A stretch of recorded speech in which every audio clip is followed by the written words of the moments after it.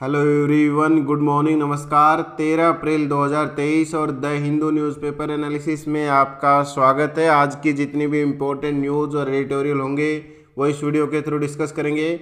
अगर आप इस न्यूज़पेपर की पीडीएफ को डाउनलोड करना चाहते हैं, आपको मिलेगी टेलीग्राम पर, जिसका लिंक आपको डिस्क्रिप्शन मिल जाएगा।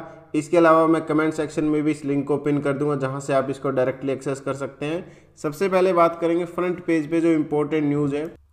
इसमें डिस्कस किया गया कि कंज्यूमर इन्फ्लेशन जो है वो छः परसेंट का जो मार्क है उससे कम हो गई है पहली बार पिछले पंद्रह महीनों में। तो ये काफ़ी ज़्यादा न्यूज़ में रहा था पिछले एक डेढ़ साल से। कंज्यूमर इन्फ्लेशन या कंज्यूमर प्राइस इंडेक्स भी इसको सिंपल टर्म्स में बोला जा सकता है। ये छः परसेंट मार्क्स का क्या चक्कर है? और कंज्यूमर प्राइस इंडेक्स या कंज्यूमर इन्फ्लेशन का एग्जैक्टली exactly मतलब क्या होता है? वो सारी चीज़ें पढ़ेंगे। उससे पहले ब्रीफ में समझ लेते हैं कि एग्जैक्टली किस तरह का ये एक तरीके से फैक्चुअल इन्फॉर्मेशन दी गई है? रिटेल इन्फ्लेशन या कंज्यूमर इन्फ्लेशन का मतलब होता है जो डायरेक्टली आम लोगों को इम्पेक्ट करता है। जैसे खाने पीने की चीज़ हो सकती है, जो डायरेक्ट एक तरीके से इंडिकेशन करती है। इसलिए आरबीआई इन्फ्लेशन को मेजर करने के लिए कंज्यूमर प्राइस इंडेक्स को ही एक तरीके से इंडिकेटर की तरह लेता है, ताकि एक्चुअल पिक्चर जो है प्रेजेंट हो कि देश में किस तरह की इन्फ्लेशन है। इसके अलावा मार्च 2000 2023 में 5.66 परसेंट के आसपास इन्फ्लेशन जो है देखने को मिल रही है।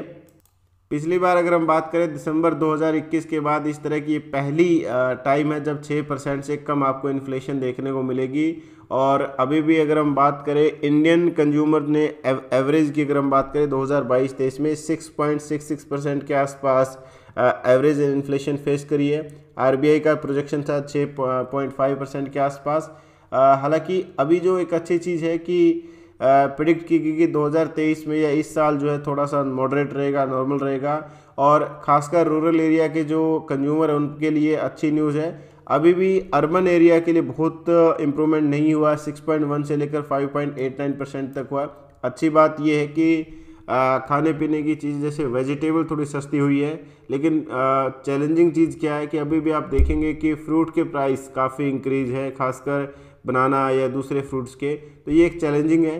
तो अलग अलग साइड्स आपको देखने को मिलेगी इन्फ्लेशन के मामले में। लेकिन कुछ इंपॉर्टेंट चीज़ें कि ये छः परसेंट का चक्कर क्या है या छः परसेंट मार्क का क्या मतलब है तो इसके बारे में थोड़ा पढ़ेंगे। आर एक्ट में मॉनिटरी पॉलिसी फ्रेमवर्क आया था 2016 के अंदर और 2016 में जब ये फ्रेमवर्क आया था, तब 1934 का जो आर एक्ट है, उसके अंदर बदलाव किया गया था। इस बदलाव में क्या इंपॉर्टेंट चीज़ें बताई गई थी? कि भाई हमें ये इंश्योर करना है कि कंज्यूमर प्राइस इंडेक्स जो है, वो चार परसेंट के आसपास रहे। चार परसेंट में अब दो परसेंट की दी गई थी, छूट ये कह सकते हैं टॉलरेंस लिमिट होगी। दो परसेंट तक अप डाउन हो, कोई दिक्कत नहीं। दो परसेंट अप डाउन का मतलब है कि दो भी हो सकती है और छः भी हो सकती है। दो से लेके छः परसेंट तक जो है वो कंज्यूमर प्राइस इंडेक्स रहे, कोई ख़ास प्रॉब्लम नहीं है। लेकिन यहाँ पर ये एक तरीके से मेंटेन करना बहुत इंपॉर्टेंट है।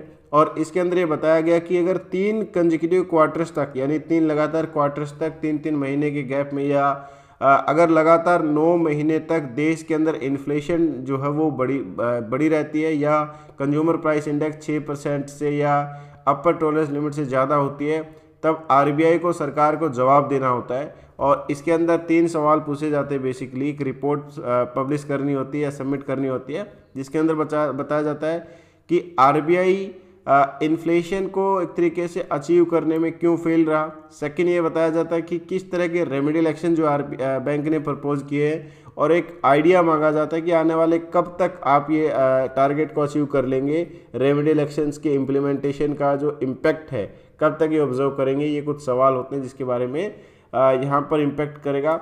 इसके अलावा अगेन कंज्यूमर प्राइस इंडेक्स के बारे में बताया गया है कि दो हज़ार सोलह इसका बेस बताया गया लेकिन मैं अभी कंफर्म नहीं हूँ। अगर आप में से आ, आ, मुझे चेक करना पड़ेगा कि 2016-17 इन्होंने बेस ईयर इसको कर दिया है कि नहीं कर दिया क्योंकि कंज्यूमर प्राइस इंडेक्स जो है 2011-12 ही था और अगर हाल ही में इसको इम्प्लीमेंट कर दिया गया 2016-17 को तो ये कन्फर्म करिए। एक क्वेश्चन भी आप लोगों के लिए रहेगा कि क्या कंज्यूमर प्राइस इंडेक्स का जो बेस ईयर पहले 2011-12 था अब उसको 2016-17 जो प्रपोज किया गया था क्या 2016-17 उसको बना दिया गया है?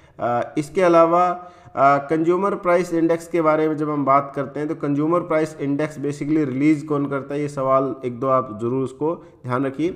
इसी में एक टॉपिक के बारे में डिस्कस किया गया था बेस इफ़ेक्ट को लेकर कि बेस इफ़ेक्ट होता है क्या? बेस इफ़ेक्ट बहुत सिंपल सा है। मान लेते हैं कि आ, इंडिया की इकोनॉमी जो है वो 2020 के अंदर सौ रुपये थी। मैं फॉर एग्जांपल बता रहा हूँ 2021 में एक सौ होगी है ना? तो हमने 10 परसेंट की ग्रोथ हासिल करी। फिर मान लेते हैं कि आ, 2022 में सौ रुपये थी और उसके बाद सॉरी उसके बाद ये कम होकर 2023 में नब्बे होगी और उसके बाद फिर अगर 2024 में ये 110 होती तो ऐसा लगेगा कि 90 प्लस 20 110 तो 20 परसेंट का ओवरऑल प्रॉफिट हुआ है। लेकिन बेस इफ़ेक्ट का मतलब होगा कि पिछले साल जो इकोनॉमी थी, उसके कंपेयर में कितनी ग्रोथ होती है। अगर मान लेते हैं कि हमें, हमारी इकोनॉमी में कॉन्ट्रैक्शन देखने को मिलता है, कमी देखने को मिलती है। जैसे 2020-21 में हुआ था कि कोविड 19 की वजह से अराउंड 7.5 परसेंट के आसपास कॉन्ट्रैक्शन देखने को मिला था।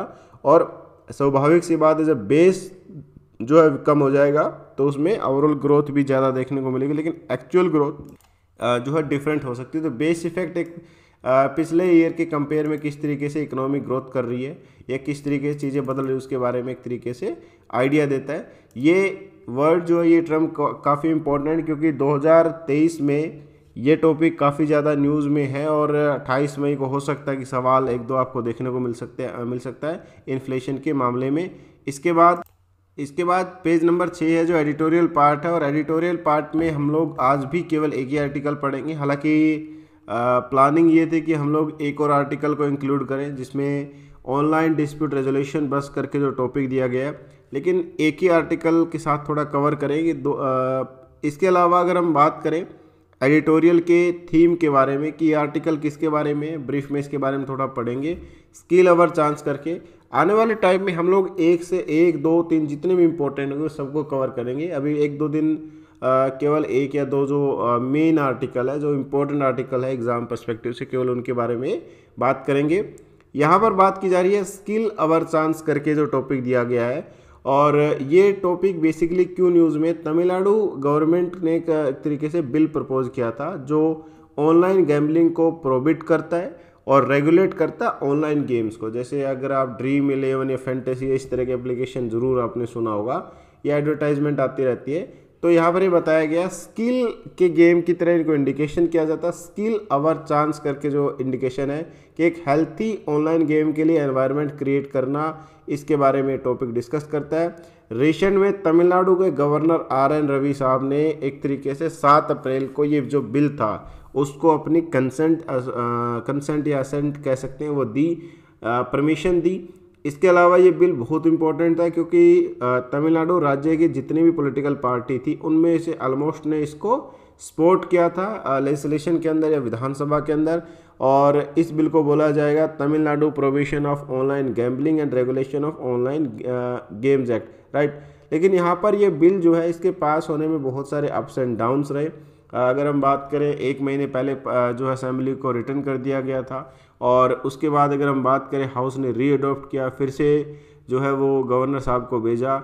इसके बाद union minister of information and broadcasting Anurag Thakur साहब ने इसके बारे में जब बताया कि betting and gambling in the state list entry thirty four के अंदर ये है।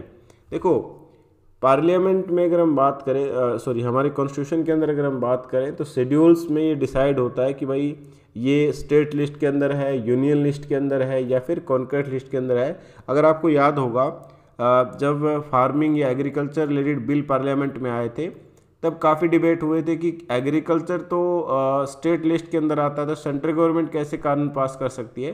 तो सेंट्रल गवर्नमेंट ने क्या किया था कि कॉन्क्रीट लिस्ट के अंदर कोई सब्जेक्ट था उसके थ्रू वो बिल पास किए थे। तो हमेशा ये बताया जाता है, जब भी कोई पार्लियामेंट में बिल आता है तो ये बताया जाता है कि हम लोग इस एंट्री के थ्रू या इस जो लिस्ट है, इसमें इस, ये एंट्री इसके थ्रू ये बिल पास कर रहे हैं, इसके थ्रू हम इसको प्रेजेंट कर रहे हैं। इसके अलावा यहाँ पर अगर हम बात करें गवर्नर साहब ने कई दिनों तक इसको होल्ड किया। गवर्नर के बीच में गवर्नमेंट के बीच में कई बार डिबेट देखने को मिलती है, चाहे वो तमिलनाडु हो, केरला हो तेलंगाना हो, इन स्टेट में आपको खासकर देखने को मिलेगी।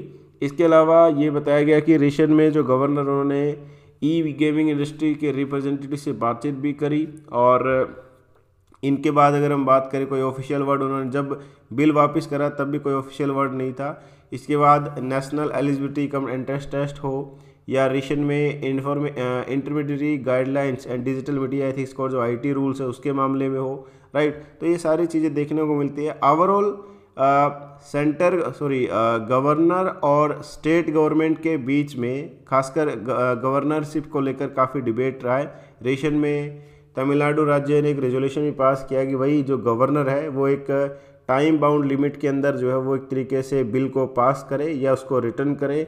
और इसके अलावा डिजिटल वर्ल्ड की जब हम बात करते तो एक हेल्थी एनवायरनमेंट होना चाहिए ऑनलाइन गेम्स के मामले में राइट एक सवाल आप लोगों के लिए, थोड़ा प्रैक्टिकल सा क्वेश्चन है, जब हम बात करते हैं। जैसे अगर हम, हमने पढ़ा होगा कि जैसे पार्लियामेंट में अगर प्रेसिडेंट साहब बिल को रिटर्न कर देते हैं और फिर पार्लियामेंट उसको दोबारा पास करती तो अप्रूवल करना पड़ता है। क्या गवर्नरशिप में भी ऐसे है कि मान लेते हैं राज्य के जो राज्यपाल हैं, उनको बिल भेजा जाता है असेंबली के द्वारा पास करके और लेजिस्लेशन के द्वारा जो पास किया गया बिल वो वापस भेज देते हैं। उसके बाद उनको अगर बिल रिटर्न किया जाता है, यानी दोबारा पास करके भेजा जाता है तो क्या ये कंपलसरी गवर्नर के लिए कि उस बिल को वो अप्रूवल अप्रूवल दे या एक तरीके से अपनी एसेंट दे? ये आपके लिए एक सवाल है। इसके बाद जो पेज नंबर एट पे टेक्स्ट एंड कॉन्टेक्स्ट का टॉपिक है, जिसमें एक टॉपिक डिस्कस किया गया है पार्लियामेंट्री कमेटीज़ के बारे में। पार्लियामेंट्री कमेटी जो है अलग अलग टाइप की पार्लियामेंट में कमेटी होती है, लेकिन हम इसका अगर आप करेक्ट समझेंगे पॉलिटिकल चीज़ों को छोड़कर तो यहाँ पर आप देख, देखेंगे कि सबसे पहले एग्ज़ाम्पल दिया गया है कि जो करंट पार्लियामेंट है, उसमें नेशनल लेजिस्लेशन के मामले में दो, खासकर सत्रहवीं लोकसभा के अंदर केवल फोर्टीन ऐसे बिल है जो एग्जामिनेशन के लिए पार्लियामेंट्री पैनल को भेजे गए हैं। पार्लियामेंट्री कमेटी क्या होती है? क्या फ़ंक्शन करती है? क्या इनका रोल रहता है? उसके बारे में पढ़ेंगे। पीआरएस का डेटा है कि 25 परसेंट बिल जो इंट्रोड्यूस किए गए, वो रेफ़र किए गए थे। पार्लियामेंट को 70 सॉरी 16 लोकसभा में और इसके अलावा फिफ्टीन और फोर्टीन लोकसभा में ये सेवेंटी वन परसेंट और सिक्सटी परसेंट, यानी पहले क्या होता था, जो इससे पहले की लोकसभा रही है, चाहे वो पंद्रहवीं हो या फिर चौदहवीं हो, वहाँ पर बहुत सारे बिल को पार्लियामेंट्री कमेटीज़ के पास या पैनल के पास भेजा जाता था। रीज़न क्या होता है कमेटीज़ के पास भेजने में, कि जब भी कोई बिल आए, उसके एक बेटर सिक्योरिटी हो। यहाँ पर भी आप देखेंगे कि कमेटी किसी भी बिल में या किसी भी लेजिस्लेशन में स्पेसिफिक डिटेल में उसको एनालिसिस करती है, उसके इम्पैक्ट को ऑब्ज़र्व करती है गवर्नेंस को इंडिकेशन करती है और उसके बाद अपनी रिकमेंडेशन देती है। हालाँकि ये रिकमेंडेशन मानना कोई कंपलसरी नहीं कि सरकार इनको मानेगी, लेकिन एक सुझाव देती है कि आप इसमें बदलाव करें। और इवन अगर हम बात करें गवर्नमेंट यहाँ पर भी बताया गया कि कोई बाइंडिंग नहीं है कि सरकार वही मानेगी जो इन्होंने कह दिया, लेकिन ये हेल्प करती है लेजिस्लेचर को कि एक एग्जीक्यूटिव पर अवरसाइट हो, यानी जो कार्यपालिका होती है, उसको ऊपर एक तरीके से नज़र रखी जाए। इसके अलावा पार्लियामेंट अगर हम बात करें, इसको कंपलसरी रेफरल की तरह इसको इंडिकेशन कर सकती है कि कोई बिल जब टेबल किया जाता है फ्लोर पर या कोई पार्लियामेंट में इंट्रोड्यूस किया जाता है उसके बाद अप्रोप्रिएट कमेटी उसको एनालिसिस करे ताकि अगर हम बात करें अकाउंटेबिलिटी जो एग्जीक्यूटिव हो, होती है या कार्यपालिका होता है उसकी प्रॉपर अकाउंटेबिलिटी होनी चाहिए ज़िम्मेदारी होनी चाहिए कि जो आप बिल इंट्रोड्यूस कर रहे हैं उसका ओवरऑल क्या इम्पैक्ट जो है आपके ऊपर या जहाँ पर जिस भी फ़ील्ड में कानून आ रहा है उसका क्या ओवरऑल इम्पैक्ट हो सकता है उसके बारे में ये बहुत ज़रूरी है। इसके बाद यहाँ पर अगर हम बात करें पेज नंबर टेन पर, और अगेन तमिलनाडु के जो चीफ मिनिस्टर है, उन्होंने एक अपना यहाँ पर एक रेजोल्यूशन पास करवाया था, जिसमें बताया गया था कि गवर्नर को जो बिल पास करने के बारे में टाइम लिमिट होनी चाहिए। अभी भी टाइम लिमिट नहीं है कि जैसे असेंबली या पार्लियामेंट कोई बिल पास करती है और प्रेसिडेंट या गवर्नर को जब साइन करने होते हैं तो उसके बीच में समय कितना होना चाहिए, ये कोई फिक्स नहीं किया कॉन्स्टिट्यूशन में। ये कहीं ना कहीं, और इसको लेकर ये बताया गया कि एक स्टेट गवर्नमेंट के जो गवर्नर होंगे सॉरी स्टेट गवर्नमेंट के गवर्नर नहीं गवर्नर को जब स्टेट गवर्नमेंट को रेजोल्यूशन पास करते हैं असेंबली के थ्रू या लेजिस्लेशन के थ्रू उसके बीच में कितना गैप होना चाहिए उनकी अप्रूवल को लेकर। तो ये अपने आप में बहुत इम्पोर्टेंट है। इसके बाद, यहाँ पर अगर हम बात करें इसराइल एक कंट्री काफ़ी ज़्यादा न्यूज़ में रही है अलग अलग वजह से, जिसमें से एक वजह बहुत इंपॉर्टेंट है। इसराइल काफ़ी ज़्यादा पॉलिटिकल इंस्टेबिलिटी को कहीं ना कहीं फेस कर रहा है। अभी जो गवर्नमेंट बन रही है बार बार इलेक्शंस हो रहे हैं, इसके अलावा गवर्नमेंट स्टेबल नहीं है। दूसरी अगर हम बात करें, काफ़ी वहाँ पर इंटरनल प्रोटेस्ट भी चल रहे हैं। इसके अलावा इन्हीं सब चीज़ के बीच में इसराइल के जो मिनिस्ट्रियल है, या इसराइल के बहुत सारे मिनिस्टर एक एक करके इंडिया में आ रहे हैं और इसमें मेन है इंडिया और इसराइल के बीच में फ्री ट्रेड एग्रीमेंट टॉक्स के बारे में। फ्री ट्रेड एग्रीमेंट का मतलब होता है कि दोनों कंट्रीज़ के बीच में ट्रेड को थोड़ा स्मूथ करना कस्टम एंड ड्यूटीज़ को कम करना सिंप्लीफिकेशन करना प्रोसीजर को, और बहुत सारे ऐसी प्रोडक्ट होंगे गुड्स होंगे जिसमें टैक्स या जो कस्टम लगता है वो नए के बराबर कर दिया जाएगा ज़ीरो भी कर दिया जाता है। Right back to back official interaction कर रहे हैं। आने वाले टाइम में मे बी वहाँ के जो प्राइम मिनिस्टर है, वो भी इंडिया के अंदर आ सकते हैं अपकमिंग विज़िट के तौर पर और डेलीगेशन उनका इंडिया के अंदर है। इसके अलावा इसके अंदर अलग अलग इश्यूज़ को लेकर, जैसे ये विज़िट जो है वो फिनटेक पर साइबर सिक्योरिटी क्लाइमेट टेक और ऑटोमेटिव सेक्टर इन सब एरिया पर काम करता है। इसराइल जाना जाता है अपनी लेटेस्ट टेक्नोलॉजी को लेकर और इंडिया के लिए इसराइल बहुत इंपॉर्टेंट अगर आप टेक्नोलॉजिकल परस्पेक्टिव से बात करें इनके अलावा ये एग्रीमेंट इसलिए भी इम्पोर्टेंट हो जाता है कि हमने सक्सेसफुली एग्रीमेंट किया था यूएई के साथ फ्री ट्रेड एग्रीमेंट में और हंड्रेड बिलियन डॉलर का एक टारगेट रखा था कि हम दोनों कंट्री अपना ट्रेड रखेंगे। तो यूएई के साथ हमारा ट्रेड बुस्टअप हो रहा सक्सेसफुली हमने उसको कंक्लूड किया और बहुत सारी कंट्रीज़ के साथ हम फ्री ट्रेड एग्रीमेंट पर कंसल्ट कर रहे हैं, जिसमें ऑस्ट्रेलिया है कनाडा है इवन यूके के बारे में भी काफ़ी ज़्यादा डिस्कस है। हालाँकि ऑस्ट्रेलिया के साथ हम काफ़ी पॉजिटिव हैं। यूके के साथ कई सारे अप्स डाउन्स रहे हैं। कनाडा के बारे में बहुत कम न्यूज़ में रहता है। तो हमारे लिए जो मेन है वो है यूके और अगर इसराइल के साथ होता डेफिनेटली ये भी पॉजिटिव साइंस होगा। इसके बाद कोप इंडिया 23 करके एक एक्सरसाइज हो रही है इंडिया और यूनाइटेड स्टेट की एयरफोर्स के बीच में। और इसके अंदर ये बताया गया कि ये एक्सरसाइज बड़ी इंटरेस्टिंग है क्योंकि हमारा जो खुद का लाइट कम्बेट एयरक्राफ्ट है तेजस, ये पार्टिसिपेट कर रहा है। राफेल पार्टिसिपेट करेगा। सुखोई, जो कि रशियन मेड है या रशिया से हमने एक तरीके से मंगवाया है, ये भी इसके अंदर पार्टिसिपेट करेगा करेगा। बहुत इंटरेस्टिंग चीज़ें हैं कि रशिया और यूएस के जो फोर्सेस हैं, वो आपको बहुत कम ही एक साथ देखने को मिलते हैं, लेकिन ये इम्पोर्टेंट है। जापान एज ए ऑब्जर्वर इसमें पार्टिसिपेट कर रहा है। इस एक्सरसाइज का मेन मकसद क्या है कि एरियल रिफ्यूलिंग पर काम करना, कि कैसे हम लोग प्रैक्टिस कर सकते हैं कि जो हमारे एयरक्राफ्ट होते हैं, उसमें एरियल रिफ्यूलिंग हो एयरबोर्न वार्निंग सिस्टम इसके अलावा control system airborne early warning और control aircraft of Indian air force right तो उन सब के अंदर ये बताया गया कि कैसे हम लोग दोनों, जब भी आप देखेंगे जितनी भी एक्सरसाइज होती है, चाहे वो मिलिट्री हो, चाहे एयरफोर्स की हो, चाहे नेवल एक्सरसाइज हो, मकसद यही होता है कि दोनों के बीच में कोऑर्डिनेशन को बूस्टअप करना। तो उस हिसाब से ये एक्सरसाइज जो है, वो काफ़ी ज़्यादा इंपॉर्टेंट है। इसके बाद page number eleven is all about politics and mostly politics ही है तो ये बहुत ज़्यादा रिलेवेंट हमारे लिए है नहीं।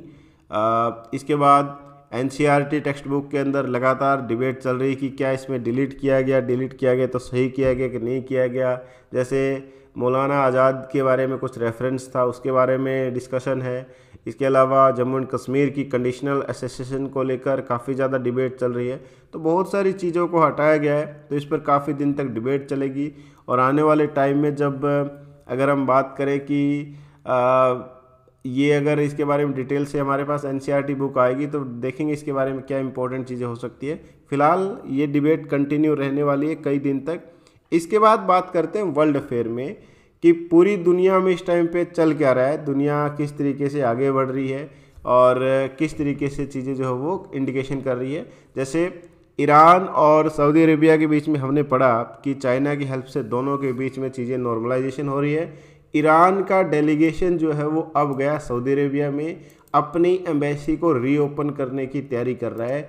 यानी आने वाले टाइम में अगर सऊदी अरेबिया और ईरान के रिलेशन स्ट्रॉन्ग होते हैं या कह सकते स्ट्रॉन्ग की बजाय मैं इसको नॉर्मलाइजेशन भी अगर हम बात करूँ तब डेफिनेटली बहुत सारी चीज़ें बदलने वाली वेस्टर्न एशिया के कॉन्टेक्स्ट में और आ, कई जगह पर खासकर मैं आ, यमन के लिए बहुत ज़्यादा एक तरीके से खुश होऊँगा क्योंकि यमन इस टाइम पे वर्स्ट ह्यूमटेरियन क्राइसिस फेस कर रहा है।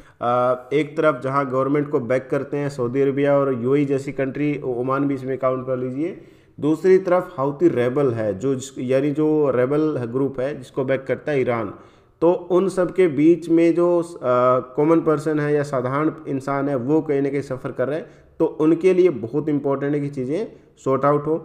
इसके बाद यहाँ पर इंफॉर्मेशन आती कुछ बेसिक बेसिक सी। फॉर एग्जांपल चाइना के जो प्रेसिडेंट उनने पीपल लिबरेशन आर्मी या चाइनीज़ आर्मी को बोला कि अपनी ट्रेनिंग को थोड़ा सा और स्ट्रेंथ करिए कम्बैट को स्ट्रेंथ करिए क्योंकि आने वाले टाइम में अगर सोवर्निटी और मेरीटाइम इंटरेस्ट को सेव करना पड़े तो आप उसके लिए रेडी रहिए। और ये बातें स्पेशली बोली गई है ताइवान को कॉन्टेक्स्ट में क्योंकि ताइवान इस टाइम पे बहुत ज़्यादा न्यूज़ में है और उसके पीछे वजह है कि ताइवान के प्रेसिडेंट या ताइवान के जब लीडर किसी भी ऐसी कंट्री से डिस्कशन करने जाते जैसे ताइवान के प्रेसिडेंट इस टाइम पे आ, अभी गई थी कहाँ पर? यूएस के अंदर। हालाँकि उनकी मेन विज़िट थी कुछ लेटिन अमेरिकन कंट्रीज़ में जहाँ पर इनके रिलेशन है राइट आ, लेकिन उस विज़िट के बाद चाइना काफ़ी नाराज़ होता है। चाइना की तरफ़ से कहा गया कि हम एक तरीके से ताइवान के आसपास उन्होंने एक्सरसाइज भी करी ड्रिल भी करी और नो फ्लाई जोन की तरह इंडिकेशन किया। हालाँकि ताइवान ने ये भी स्टेटमेंट दी कि अगर कोई भी एक तरीके से चाइनीज़ वॉरशिप एयरक्राफ्ट उनके आसपास नज़र आएगा तो उसको वो डिटेन करने का काम करेंगे। इसके अलावा नॉर्थ आयरलैंड और, और एक तरीके से आयरलैंड के बीच में जो डील हुई थी या फ्राइडे एग्रीमेंट काफ़ी ज़्यादा पॉपुलर है। तो उसके बारे में आने वाले टाइम में फिर से न्यूज़ में हो सकता है क्योंकि उसका कुछ टाइमिंग है जो अभी कंप्लीट हुआ था उस हिसाब से ये इम्पोर्टेंट है। I think twenty five year complete हुए। हैं इसके बाद कोई पर्टिकुलर न्यूज़ नहीं है। अफ़गानिस्तान तालिबान ये कंटिन्यू न्यूज़ में रहता है तो वो ज़्यादा रेलिवेंट नहीं है। लास्ट जो न्यूज़ है वो है इंडेक्स ऑफ़ इंडस्ट्रियल प्रोडक्शन के बारे में। और मैंने ये बताया था कि जो डेटा है, इस पर बहुत ज़्यादा रेलिवेंट नहीं है क्योंकि मंथली अपडेशन होता है। ये जो डेटा है बैंकिंग एग्जामिनेशन या फाइनेंशियल कोई एग्जामिनेशन है, वहाँ पर ये इंपॉर्टेंट हो सकता है मंथली डेटा लेकिन इसमें कुछ चीज़ें आपको समझनी पड़ेगी कि आईआईपी होता क्या इंडेक्स ऑफ़ इंडस्ट्रियल प्रोडक्शन का मतलब होता है कि देश की कुछ मेजर इंडस्ट्रियल है इंडस्ट्री है, जिनका ओवरऑल इंडस्ट्रियल प्रोडक्शन में लगभग 40 परसेंट के आसपास रोल है। यानी हमारे यहाँ पर जितना भी इंडस्ट्रियल प्रोडक्शन होता है, उसमें 40 परसेंट यही इंडस्ट्री जो है वो एक तरीके से रोल प्ले करती है। और उसमें आठ इंडस्ट्री आती है जिसको बोला जाता है कोर इंडस्ट्री यानी ये प्रमुख इंडस्ट्री जिसको कोर इंडस्ट्री भी बोला जाता है। और इसको लेकर एक एनालिसिस आता है मंथली बेसिस पर जिसको आईआईपी बोला जाता है। और ये एनालिसिस करता है कि देश के अंदर इंडस्ट्रियल डेटा की अगर हम बात करते हैं तो वो किस तरीके से रिएक्ट करता है ना? इसके बाद आप लोगों के लिए एक सवाल भी है, जब हम एट कोर इंडस्ट्री के बारे में बात करते हैं तो आपको नीचे कमेंट करना कि पहले तो ये एट कोर इंडस्ट्री होती क्या है? वैसे तो मैं इस न्यूज़ में बता भी सकता था बट मैं चाहता हूँ थोड़ा सा आप एफर्ट करिए प्रैक्टिस करिए। इंडेक्स ऑफ़ इंडस्ट्रियल प्रोडक्शन में जो एट कोर इंडस्ट्री आती है, वो कौन कौन सी है? और इसमें सबसे ज़्यादा और सबसे कम वेटेज किसका है? ये आप नीचे कमेंट करिए। थैंक यू ऑल जय हिंद।